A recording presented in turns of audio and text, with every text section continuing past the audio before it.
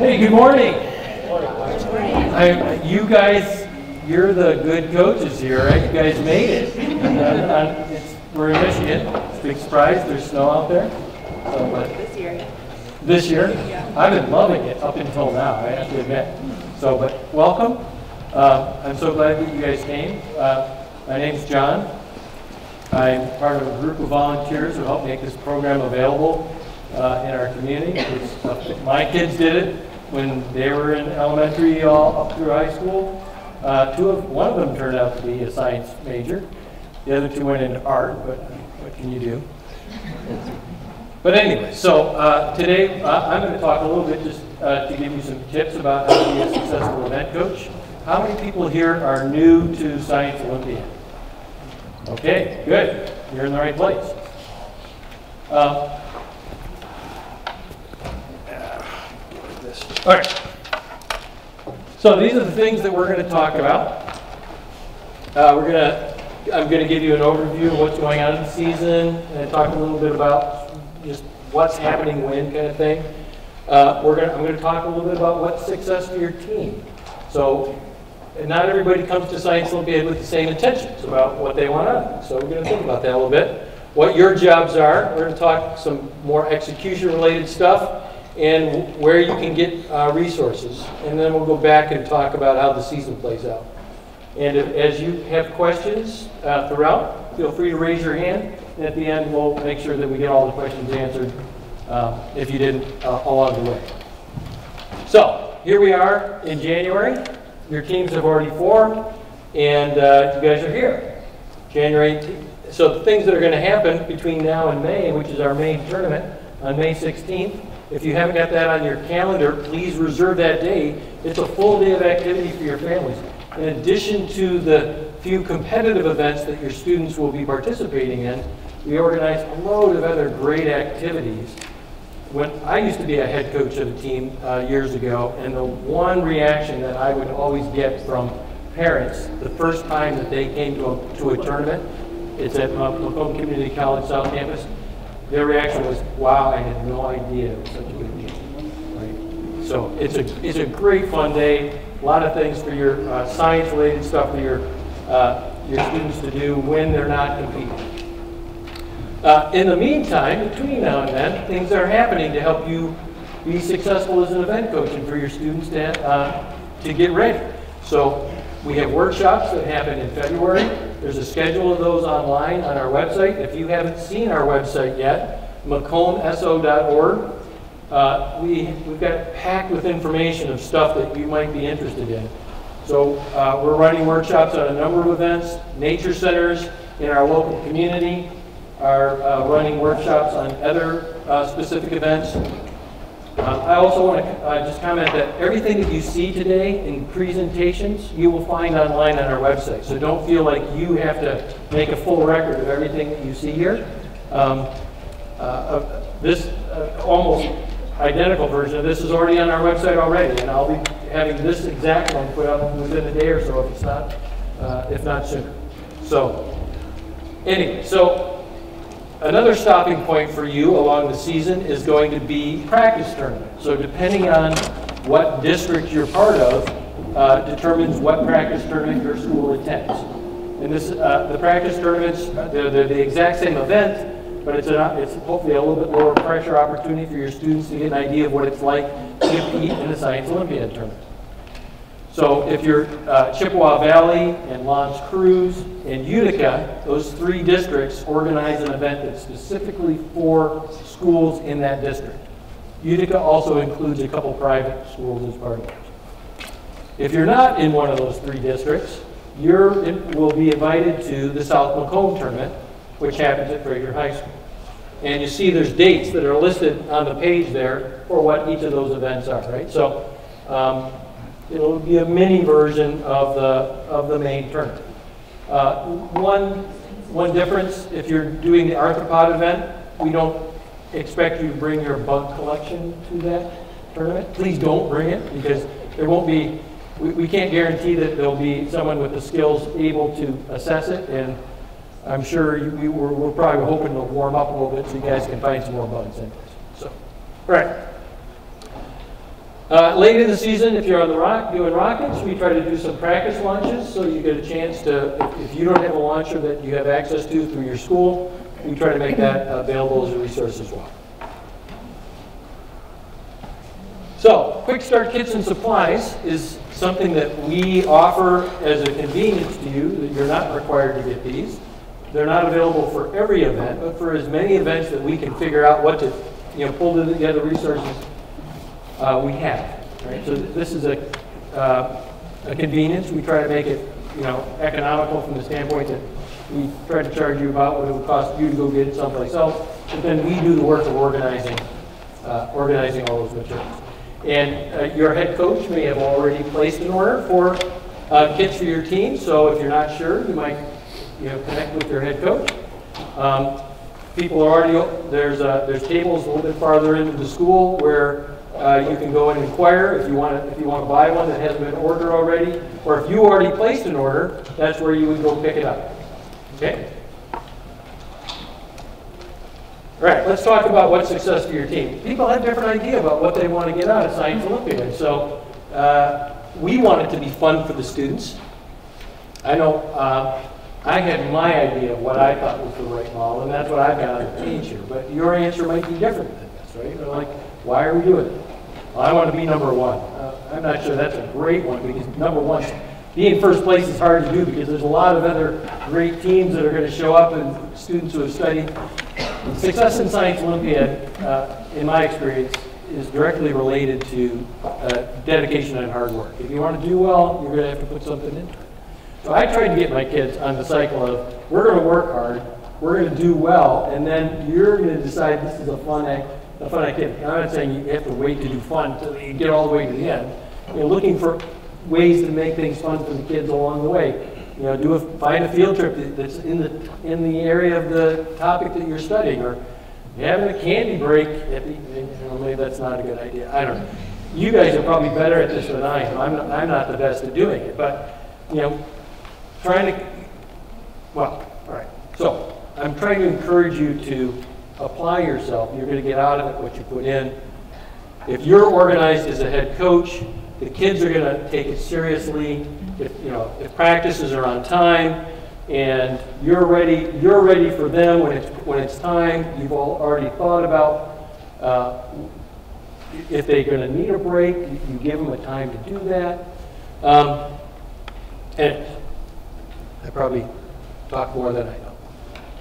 All right, your primary job as an, as an event coach is to try to make it simple for the kids, as in it's organized.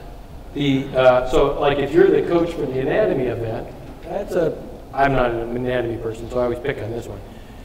It's, it looks daunting to me, right? All these medical terminology or whatever. The kids can do amazing things. I'm always impressed by how, how well the kids can do. But so your job as an event coach is to help break it down. So like when they show up for a meeting, uh, you've, you know, there's a slice of the total scope of, of, of that event that's what you're going to be working on right? And you've found uh, age-appropriate materials that that the, they can that you as a as a team can use, things like that. Um, so, your I've already mentioned this to some degree, but your job is also to demonstrate some commitment. Because if you're organized and you're prepared, the kids will realize it. If you're not, they're going to realize that too, right? So they're going to reflect back to you how you behave. And accountability is related to that as well, in the sense that if you ask the students to do something and them never follow up, they'll realize that when you asked for something, you didn't really mean it. So I don't. I'm not a teacher, but I imagine there's teachers in the room that sort of get this, right? They understand the, how these equations work with the kids. Okay. These are my suggestions. Uh, you, there's other answers to this as well, but from from a scheduling standpoint, the formula that I've always followed is to say we're going to pick a time every week that's our time. So if I'm the coach for the Rockhound event for our school, I'm, I'm probably coaching my own child. Uh, I hope that's the case, right? I got into Science Olympiad because my kids wanted to be involved. It was something I got to do with my kids. And so I'd be coaching my own child, and then I'm paired with another child from the team. And so you've got to find a time that works for the two of you. And So, uh, and agree on, so let's say every Tuesday night at 6 o'clock, that's our time. If, if, you, if you agree on that, then you can start managing the exceptions as opposed to every week trying to find a time, well, when are we going to meet? And it changes every week. What you'll find is you'll spend so much time in logistics and the season will disappear. It'll get away from you because you won't have set that regular expectation for that regular meeting. How long you meet, I think is a function of the age and the temperament of the children that you're working with. So for some students, uh, 90 minutes isn't a big deal, but for some it might be. 60, maybe 60 is the limit on that, right? So you have to play that by ear. I, I know I find that by the time that the, the logistics of meeting happen, 60 minutes starts to get eaten away by the all the stuff around it. And I find that I don't have enough time to get done what I wanted to get done with the, with the students. So that's why I, I personally lean toward 90 minutes. But I think age matters. Nowadays, I'm only coaching high school age kids. They have a little bit longer attention spans, some of them, than the elementary kids. So, all right, so I've already talked about uh, some of these things uh, on the previous page. So you guys probably have better ideas than I do about how to make it fun and how to make it engaging for the kids. Um, so I'll leave that up to you. Okay, finding resources. First of all, please read the rules. And then after you spend some time working on the event, a month from now, read the rules again. Because you will forget. Your, your, your, what you remember that were in the rules will, will migrate. You'll, you'll, you'll spend time, you'll, you'll understand your event better a month from now, and your mind will start to create things that you think are appropriate for the rules, but may not be the case. So go back and read. Don't be surprised when you get to the tournament uh, that there's something you didn't understand. Uh, we have a load of resources online. If you haven't found our website yet, macombso.org, you need to go there. For every event, there's a, there's a page on our website which has resources that are targeted to you as an event coach.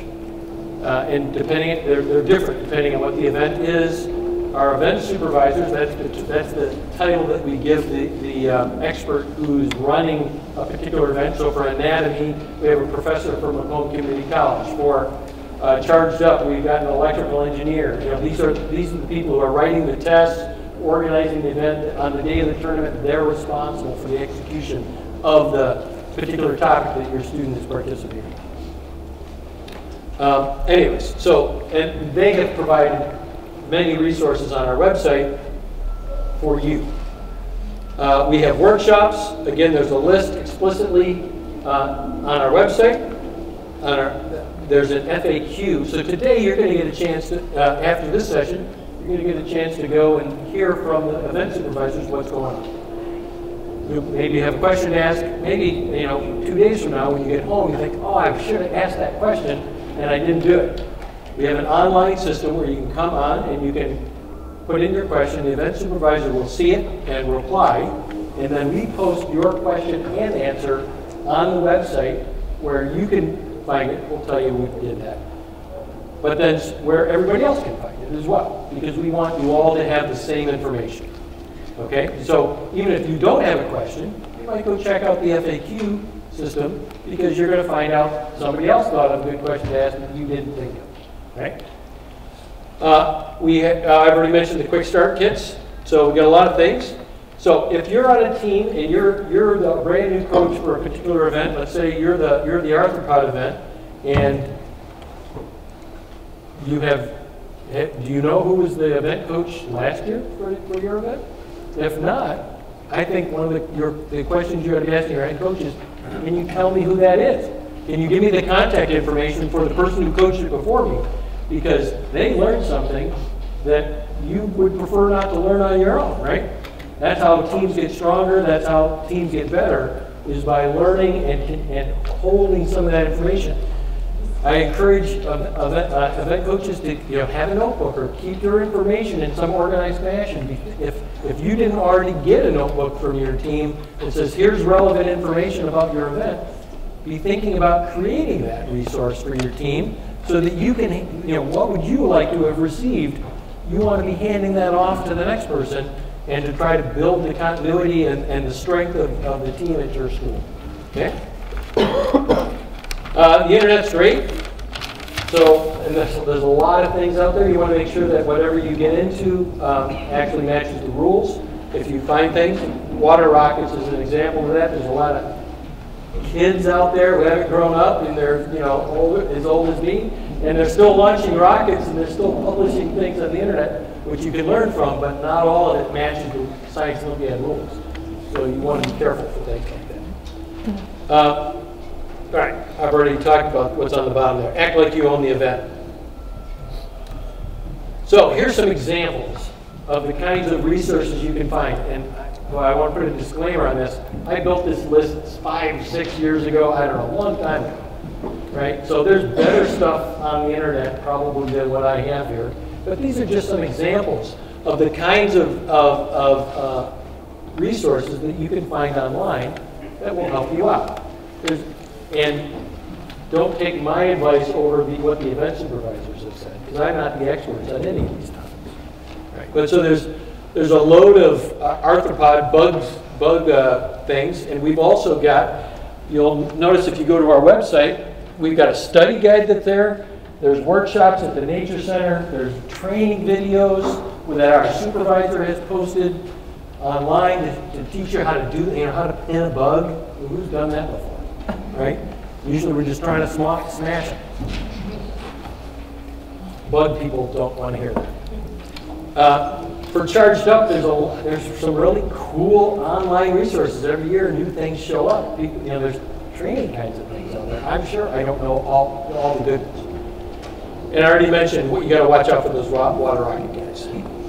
Okay, let's talk about uh, the stages of the season. So when I was coaching early with, uh, I, even to some degree, I'm still doing it now with the older kids. Early on, I would try to, I would have the kids do things in, in parallel. So, you know, after we worked on studying a particular topic or whatever, if I gave them a, a practice quiz or something like that so that I get some idea of how well they're doing, early in the season, I would have them do it side by side, right? Because I want to know how well individually how they're doing. But then, as we get closer to competition, I have to switch gears and think, oh, well, eh, they need to behave as a team when they get into the tournament. They have to be effective.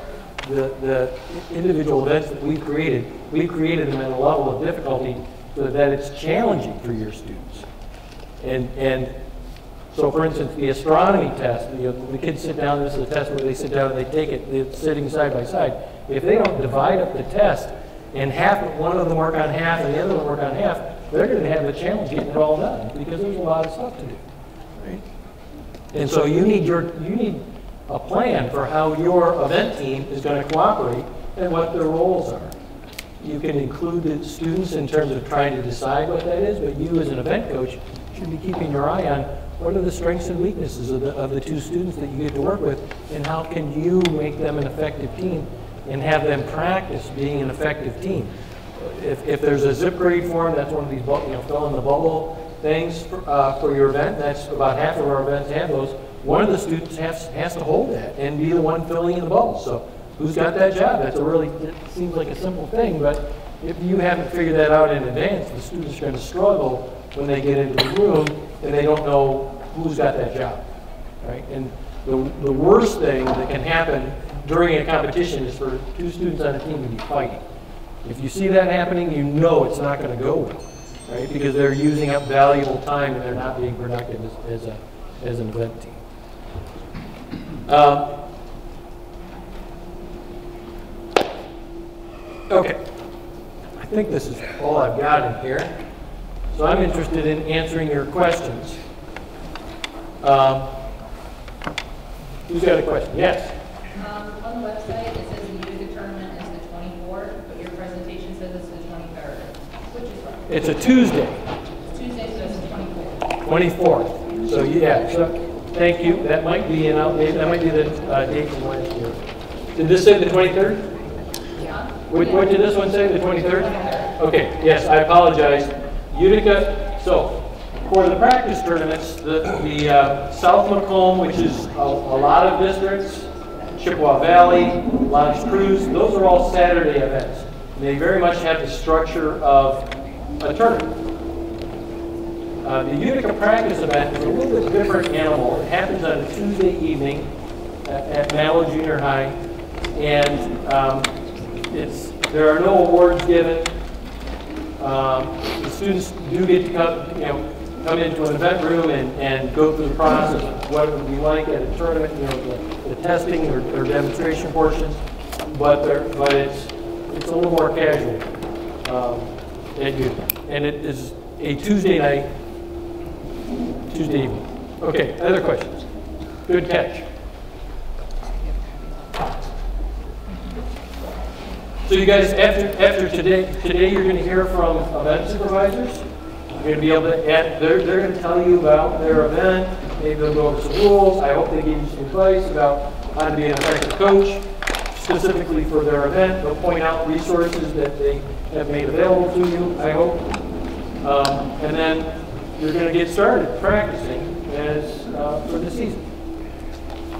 Keep an eye on our website for look for workshops. If you've got questions, we want to answer them. Our, our, our motivation is to make you successful. Other questions? Thank you. The tournament is on the 16th, is that for all grade levels, all ages? That's for everybody. Uh, we don't we don't make a distinction about grade levels aside from the fact that uh, we're, we're serving grades three through six. We ask teams to not field students younger than third grade just because uh, there's a lot of really bright second graders, but emotionally it's a little bit. I think it's not a good match because the tournaments are really high pressure, especially for parents. And we don't want the second graders to see you in that moment where you can't handle the pressure. Um, we, and when you get to the tournament, you're going to find that there's two divisions. There's a K5 division and a K6 division, and that's a function of what school you attend, which division your school is in. You, know, you know uh, your, your elementary school either stops at fifth grade or it stops at sixth grade.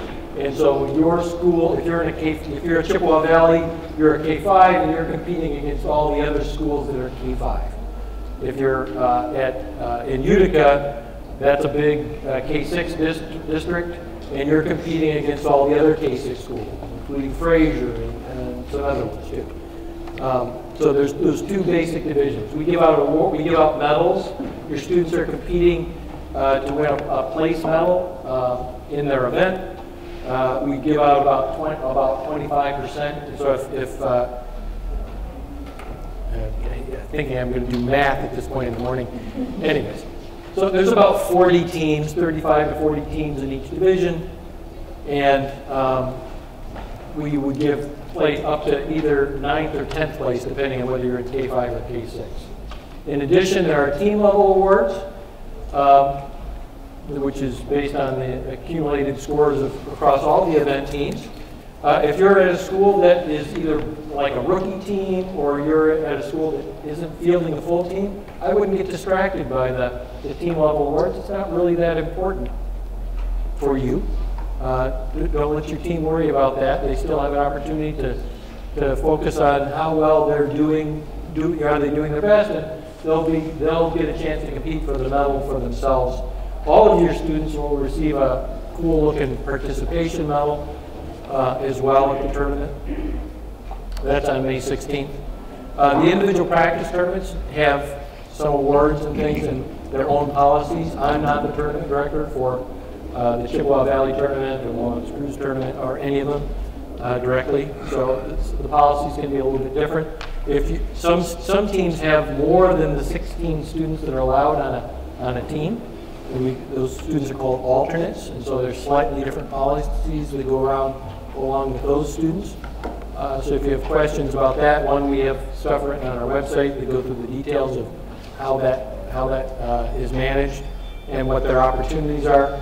In all cases, we want the students to come on May 16th and participate, even if they don't get the opportunity to. And, and a, even if they don't get the opportunity to be in one of the competitive events representing your school. So it's still a great day for, for any of the students. Other questions?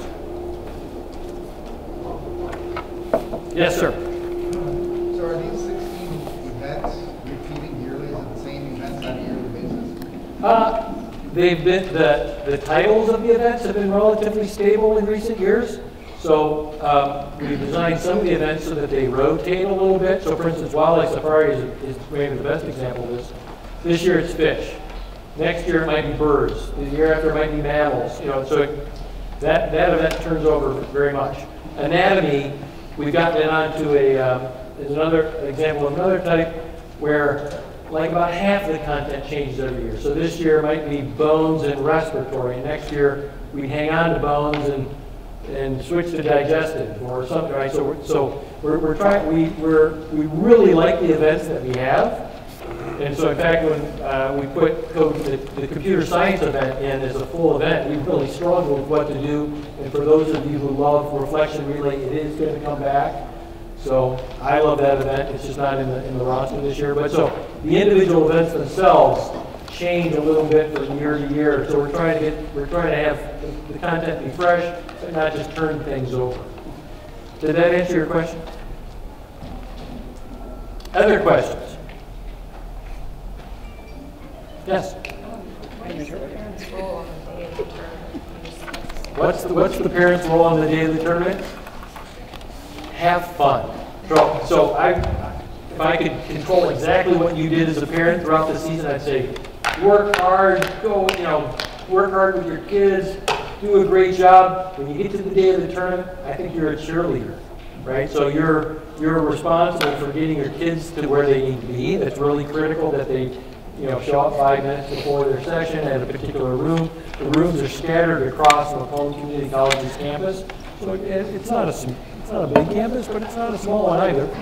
Um, and so, you know, getting them there on time, helping them not be stressed out. That's why I'm saying be a cheerleader. So don't, when I see parents grilling the kids in the hallway before they go into the room, I just think, oh no, you know, that, this is the moment where you ought to be saying, hey, great job, you're doing good.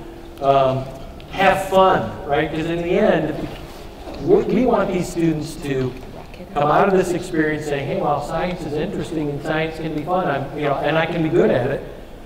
And we want them to have a fun time, right? Because in 15 years, we want to see them going to college and studying, you know, civil engineering or something, who knows what, right? Computer science. And so we want them to have fun now uh, as part of Science. Does that answer your question? So we want you to have fun too. Other questions? Sir? Give a little information on the open events, I mean, especially for kids that might be alternates going to the tournament. Sure. Uh, The question is about what open events, we, we we have competitive events at the tournament on May 16th. We also have what we call open events. And these are activities that the students can do that are science related. So one of the ones that I'm really happy about is for the last couple of years, we formed a partnership with the Michigan Science Center and they bring a team of people to the tournament and have different stations of different kinds of sciencey stuff, you know. And I'm like, now that you're asking me specifically to say something about one of them, I can't remember. But, you know, exploring different properties of materials and, you know, cool things like that. And they come up with a simple little experiment that the kids can walk up to the table and they'll get some, some instruction and there'll be something they can do or something they can watch. Uh, we also, uh, last year we didn't have it, but I've already heard that we're going to get back. We had Microsoft come in and have a whole display of computers and things like that, activities for the kids to do. The Reptarium came for the first time this last year. They're a, uh, like a little, uh, a little reptile and amphibian zoo that is in Utica. I didn't know about it until just this last year, but they were very popular. They show up with 10 foot long snakes and other really cool stuff. Um, and uh, we have a group that brings pigeons every year. There's, there's a wide variety of things, other sciencey related things that we try to bring in um, to the campus and things that for your students to do. At the end of the at the end of the day, we put out a survey and say, hey, what did you like? What did you do? And um, a lot of people say, hey, I didn't get a chance to look at all this stuff. You know, I'll give you my feedback, but I didn't have time in my day to look at all the different things that you guys had available. So I, I feel confident that you won't run out of things to do. Did that answer your question? Yes. I know you said that the campus is under construction. Oh, gosh. No, I'm sorry. Oh. Yeah, so- Is it going to be close to being one of the ones that in the past So the, the question is about the fact, uh, there's, there's construction going on in the Macomb Community College campus this year. And the second most important building on campus is being taken off the map for us.